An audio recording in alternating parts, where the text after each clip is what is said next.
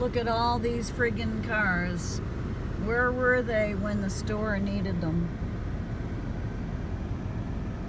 The store starts like from that, well, it's pretty good size as you see.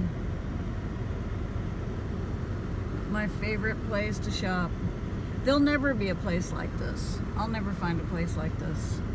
And today I went in and I saw that pretty much for me it's over with because you know I, I'm not into holiday stuff and I've got more clothes than I'll ever know what to do with. So it's winding down for me. I got some cute little stuff things to put on my bookcases but that's it. I'm essentially done but I'm gonna stop in and visit. You know may find I might find a dollar thing here and there but pretty much done for me.